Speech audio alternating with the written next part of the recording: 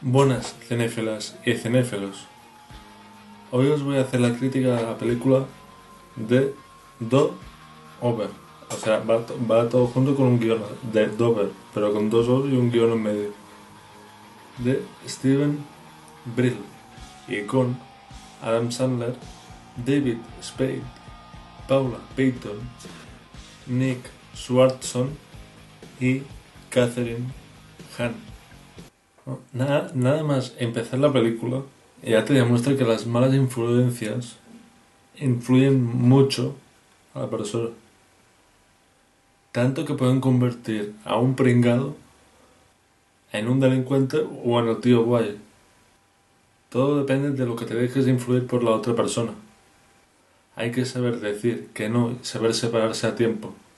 En este sentido la película es moralista porque te intenta inculcar la idea de que no puedes ser un pringado toda tu vida, porque se van a aprovechar de ti. Y tampoco puedes ser un fiestero que la va liando por todos, por todos los sitios, que esto es lo que parece durante la primera hora de la película, pero luego os espera una gran sorpresa. Pues no puedes ser ni un pringado ni un gamberro. Tienes que ser un intermedio de ambas cosas. Y también es moralista la película porque te va diciendo lo que está bien y lo que está mal todo el rato. Aunque a veces las malas compañías, que depende de cuáles, pueden ir bien para espabilar y aprender cosas y evolucionar como persona. Cosa que pasa en la película. Que después ves, te cuenta que no es una mala compañía, aunque al principio lo parece. En este sentido la película lía un poco, bueno, la película, el guion, es un poco lío, pero al final de todo, lo cuenta, te lo cuenta todo y lo explica todo. Es como, es un guion parecido al de Oceans. A ver, me explico, no es que parezca, parezca que pasa algo y en realidad está pasando otra. No, digo que se parece al de Oceans porque primero bueno en, esto sí que se pare- parece una cosa que es otra al final pero no a ver me explico.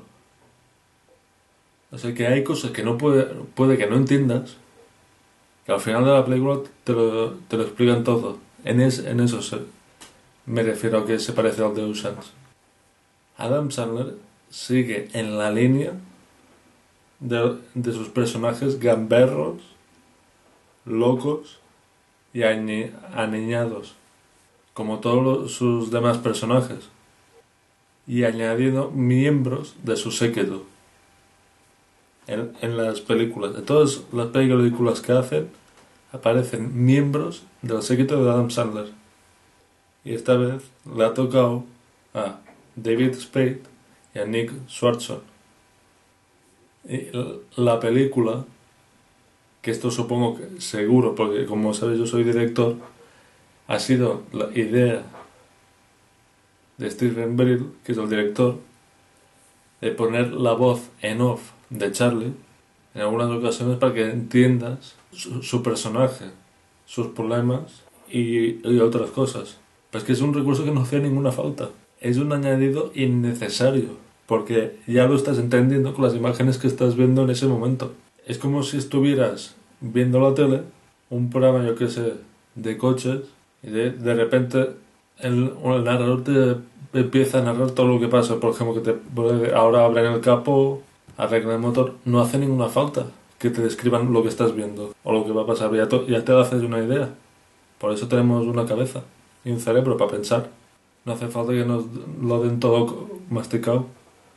Como es habitual en las películas de Adam Sandler, y digo las películas de Adam, Sal- Adam Sandler, porque el punto fuerte de esas películas es el, es el humor suyo, o sea, su humor.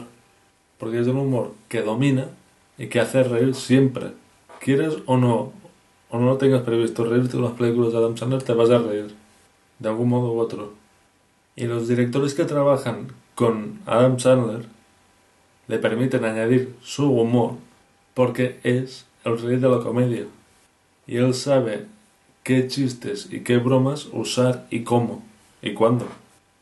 El guion, hacia el final de la película, hace un tiene un giro totalmente inesperado que hace que no tenga que ver nada con lo que ves en el tráiler. Lo que ves en el tráiler es solo la primera media hora, 45 minutos de película. Y también hace que sean dos películas totalmente distintas, con una transición casi perfecta. O sea, tiene una transición que liga bien los liga bien las dos partes del guion. Deja algunos cabos sueltos, pero al final de, de la película los, los ata bien. Deja bien atado todos los cabos sueltos.